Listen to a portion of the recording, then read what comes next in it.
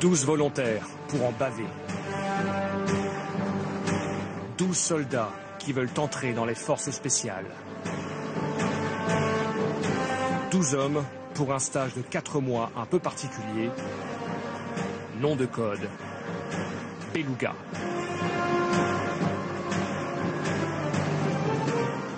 Remontez-vous là rapidement. Ce matin, première épreuve. Le parcours du combattant chronométré. Attaquez l'obstacle, mettez la hargne sur l'obstacle, récupérez entre. D'accord Vous vous arrachez.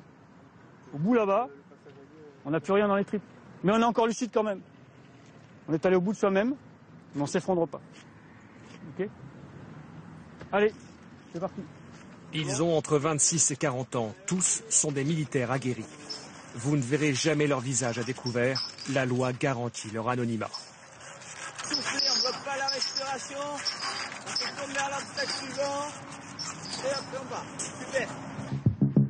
Ces hommes veulent entrer au CPA 10, le mythique commando parachutiste de l'air numéro 10.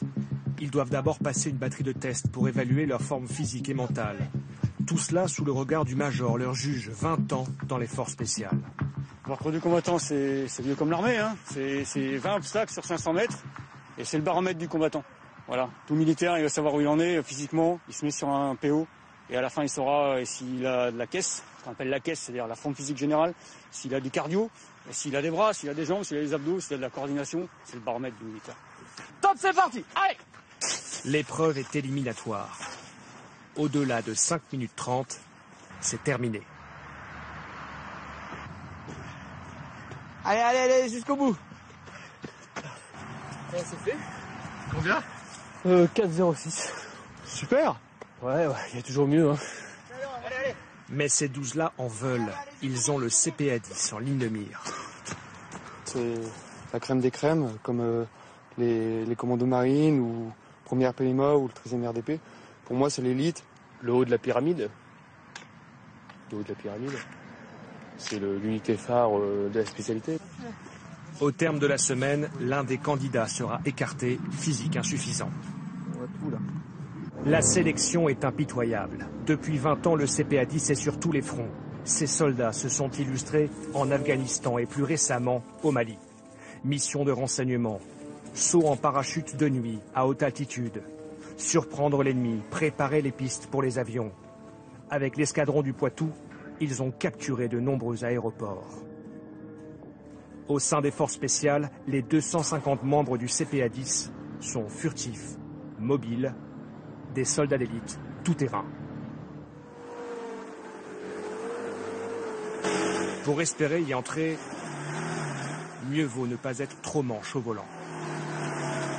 Maîtriser la boue, le sable.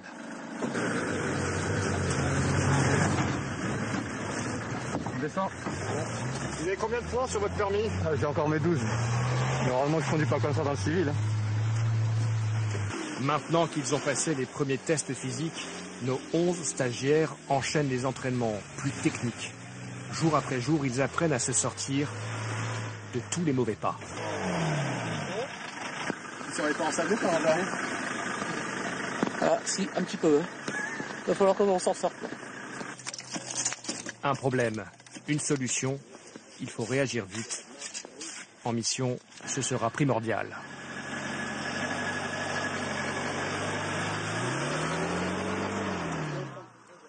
Le soir, dans leur quartier, ils ont droit à quelques minutes de répit. Mise à profit pour bricoler un peu.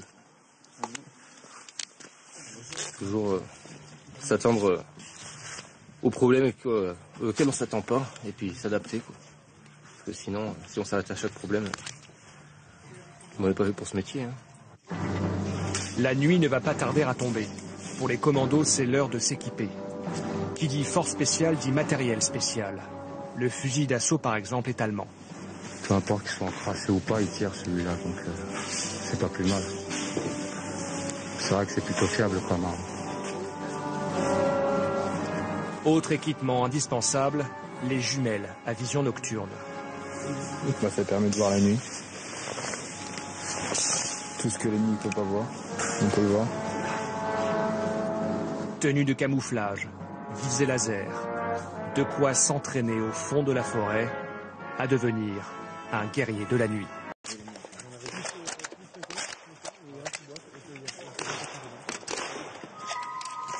Séance de tir en pleine nuit. L'obscurité est l'allié la plus puissante des forces spéciales. Mais quand on oublie sa lampe torche, évidemment, ça rend les choses un peu plus compliquées. Le matériel, ça se fait. Pas de lampe, échec.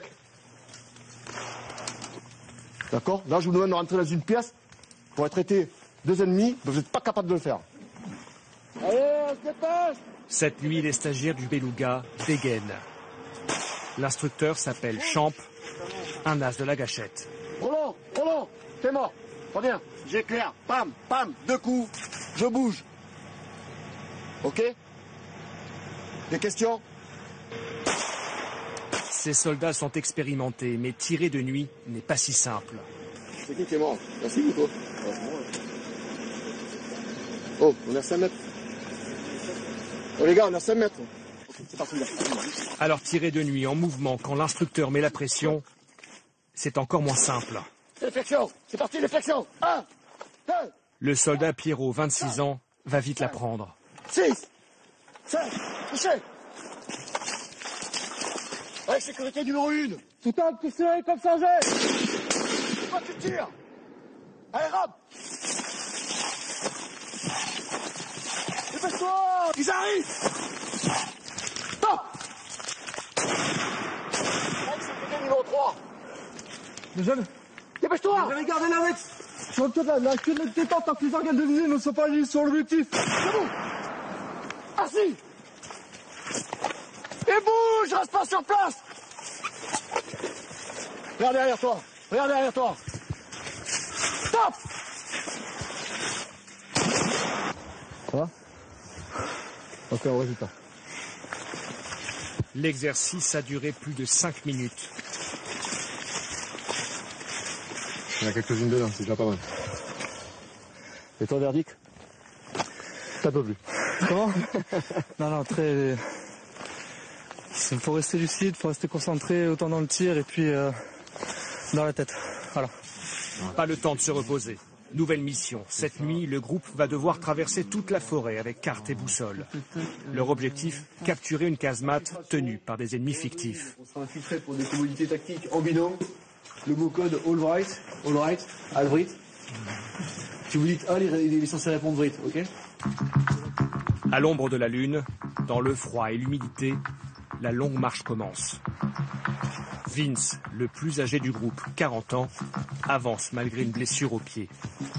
Je me suis fait une, une entorse euh, il y a quelques jours euh, à l'issue d'un saut. Et donc, euh, bah, euh, l'idéal, ça serait de se reposer, mais c'est pas, c'est pas la bonne période.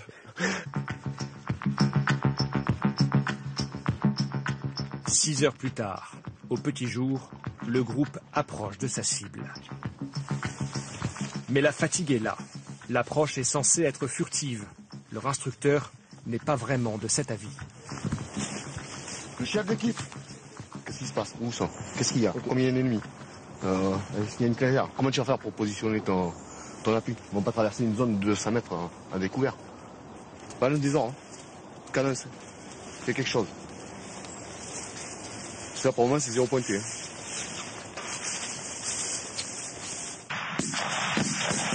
L'assaut est lancé, à balles réelles.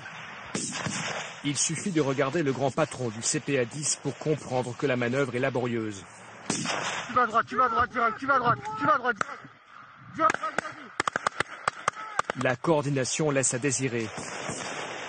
Un groupe monte à l'assaut de la casemate qui abrite des cibles fictives. Le verdict tombe. Cinglant. Si j'étais mal poli, je dirais que vous m'avez fait de la merde. Le jour a, euh, se levant, la pluie commençant à tomber, la mission elle se dilue. Il y a le trinôme qui vient euh, au contact partisan, comme s'il venait au marché. On va aller au camion, on va se déséquiper, on va, ramasser les petites caisses et on va s'amuser dans les bois. Quand, quand on de la merde, moi je deviens con. Moi je suis le con de service. On va y aller. Et tout de suite. Croyez-moi que je suis remonté. On y va. Aujourd'hui, c'est une mauvaise journée. Allez, un petit poulet Mais les stagiaires vont bientôt voir d'autres horizons.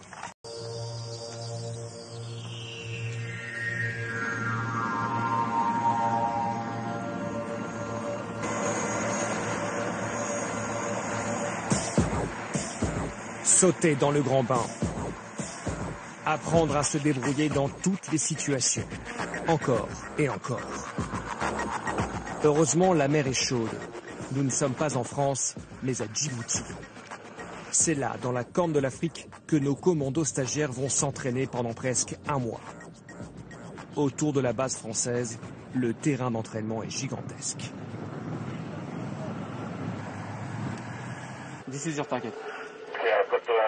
Une des spécialités du CPA-10, c'est l'appui aérien. Ceux qui intègrent le commando doivent savoir guider hélicoptères et avions de chasse sur leur cible au mètre près. Vince, l'aîné du groupe, apprend les procédures. À ses côtés, un pilote qui l'aide à communiquer avec les avions qui les survolent. Good copy. Good copy. And uh, from Vince. Les avions doivent en théorie frapper une position ennemie. 7, 8, 1, 4, 0. Il faut donner les coordonnées précises de l'ennemi et signaler sa propre position avec un fumigène pour éviter d'être blessé par le missile.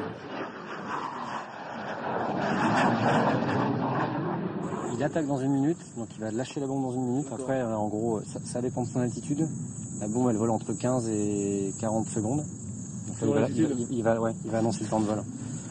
Donc là, quand il t'annonce euh, bombs away ou bombs gone, c'est-à-dire que la bombe est away, elle est partie. From the smoke, euh, Go to the north, go to the north, Le tout en anglais, la langue aéronautique. 3, 0, affirme.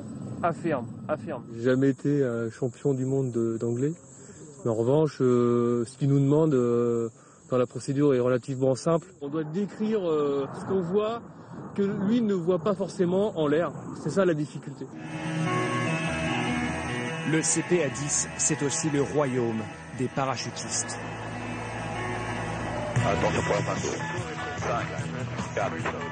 À très haute ou très basse altitude, de jour comme de nuit, nos 11 candidats doivent savoir sauter et se réceptionner les yeux fermés.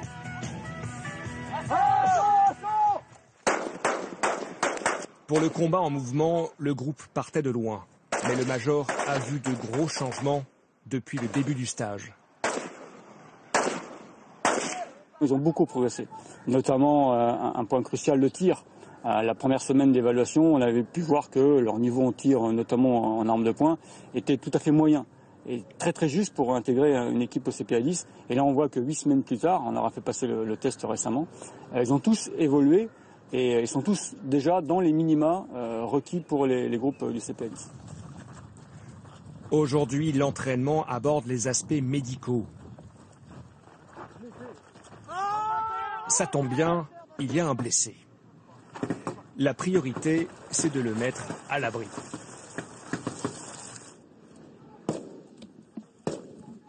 Dès que vous avez battu la, la- la blessure, vous avez deux minutes, vous basculez derrière le merlon. Ok, très bien. Deux minutes. Le soldat Pierrot joue bien la comédie. Ça va la douleur? Ça, ça, ça. J'ai du mal à respirer. Mais en mission, les balles seront réelles. Avoir les bons gestes peut sauver une vie. Il faut donc s'entraîner sous le regard de l'infirmier. une plaie par balle au niveau pulmonaire. Donc c'est euh, une des plaies qui est les plus mortelles et les plus fréquentes. Et c'est une des plaies qu'ils doivent euh, savoir gérer. Chaque minute compte. L'évacuation doit se faire par hélicoptère. Vince, je te laisse gérer ton équipe au hélico, nous on fait un bond de 100 mètres. Allez les gars, go Il faut sécuriser la zone. Comme c'est un exercice, l'hélicoptère est virtuel. Le blessé aussi, donc ce n'est pas très grave. Ok, pour tout le monde, on est dans l'hélicoptère, c'est free. Finex. Plus que quelques jours dans la chaleur de Djibouti. Alvry, t'es trop fort. T'es classe. Bientôt, ce sera le retour en France pour la dernière ligne droite.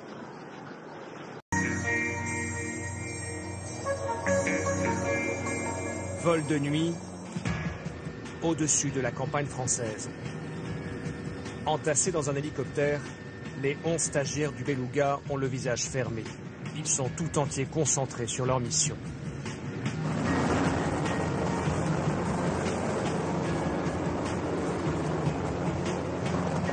La descente se fait à la corde. Cette nuit, nos commandos doivent s'infiltrer près d'un aérodrome censé être aux mains de terroristes. En fait, qu'on longe découvert et qu'on aille sur la droite. On a 150 mètres à faire. Une mission de plusieurs jours, la dernière avant d'obtenir leur ticket d'entrée au CPA 10. Le groupe des soldats Vince et Pierrot doit trouver un bon point d'observation en toute discrétion.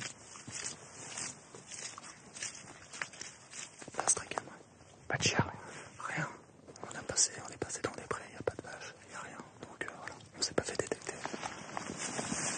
Mais à l'endroit prévu, il y a un problème. L'aérodrome n'est pas visible. Ici c'est mort, on verra rien ici. On n'a pas de visuel. Vous avez un, un mouvement de terrain. Vous voyez pas la cible en fait, c'est ça? Ouais, c'est ça. Le petit groupe cherche une autre position. À 2 heures du matin, ils finissent par trouver un maigre bosquet.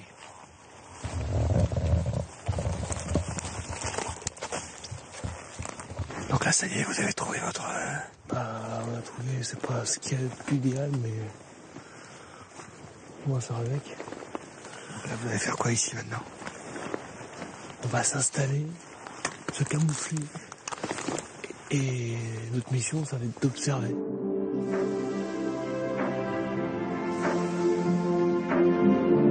Au petit matin, dans les hautes herbes, une paire de jumelles bien camouflées.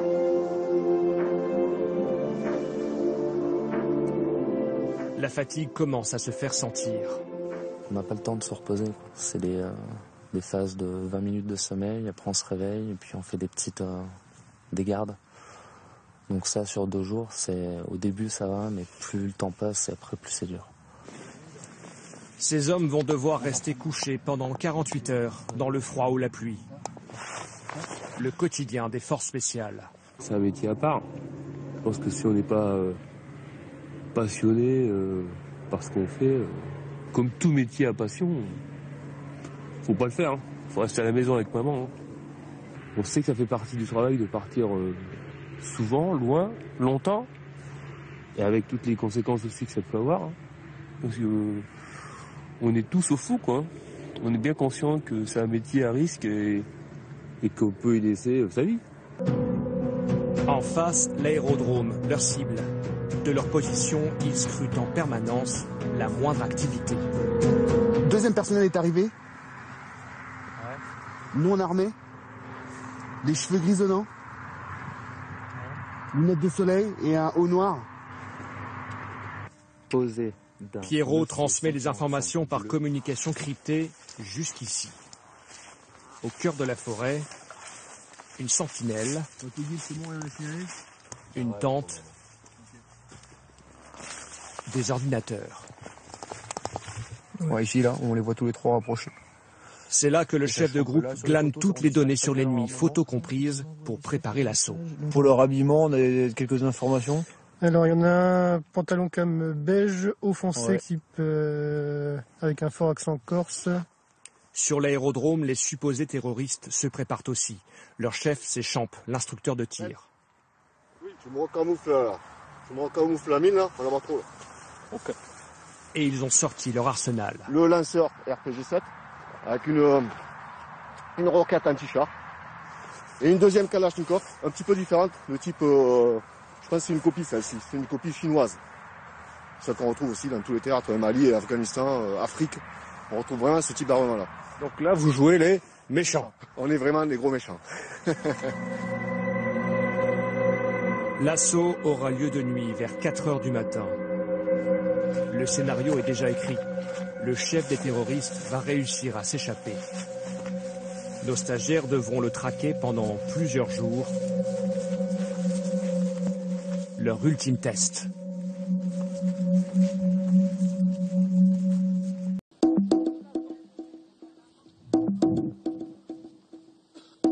Pour les stagiaires du Beluga, c'est la toute dernière épreuve. Une marche nocturne avec des vétérans et le commandant en second de l'unité. Vous avez toute la nuit pour réfléchir à votre engagement au sein du CPA 10. C'est pour ça que vous devez réfléchir au cours de la marche à un mot, un qualificatif que vous- je vous demanderai demain sur la cérémonie, d'accord? Et qui caractérise votre engagement.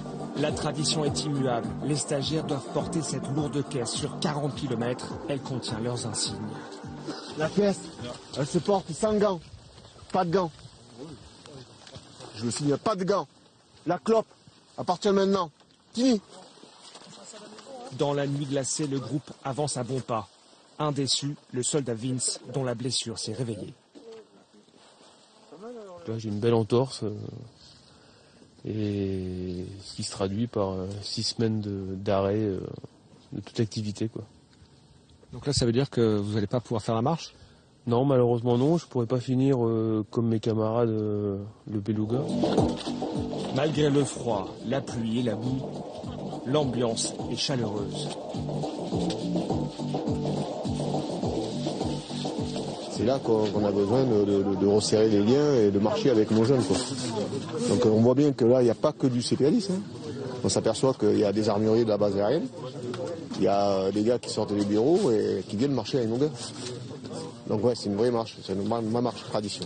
Ouais, c'est plus qu'important. Au petit matin, le groupe émerge de la forêt et entonne le chant du CPA 10.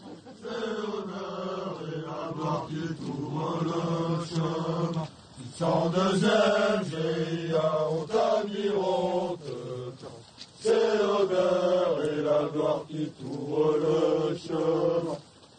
Des, des, des, des, beluga. Quelques minutes de repos bien méritées. Très content d'avoir fini en tout cas. C'était pas trop dur À 40 km, on va dire qu'on ne les fait pas tous les jours. hein. Heureux. Heureux, heureux. Heureux que ça soit fini, la marche s'est bien passée. Deux stagiaires sont recalés. Ils ont échoué lors de la dernière mission près de l'aérodrome. Vous ne serez pas sur la cérémonie. Vous allez préparer le tout ici. Donc vous mettez quand même en tenue et tout. Et euh, vous serez, serez carrément pas du tout sur la cérémonie. Ils devront repasser cette épreuve pour espérer entrer au CPA 10. Sans deuxième GIA, on t'admirons. C'est l'honneur et la gloire qui t'ouvrent le chemin. Attention, gauche. Pour les autres, c'est l'heure tant attendue. L'instant est solennel. Le commandant exige les mots qu'il leur a demandés la veille, ce qui qualifie leur engagement. Dévouement. Volonté. Déterminé. Exemplaire. Obstiné. Adaptation. Patriote. Humilité. Chacun reçoit l'insigne tant désiré, celui pour lequel ils ont souffert pendant quatre mois. La marche est encore longue. Soyez dignes de la confiance qu'on a placée en vous. Un à un, les vétérans de l'unité viennent saluer leurs nouveaux frères d'armes. Parmi eux, Jordi, Vince, Pierrot, chacun va rejoindre l'un des dix groupes de combattants que compte l'unité. Ici commence leur nouvelle vie, dans les forces spéciales.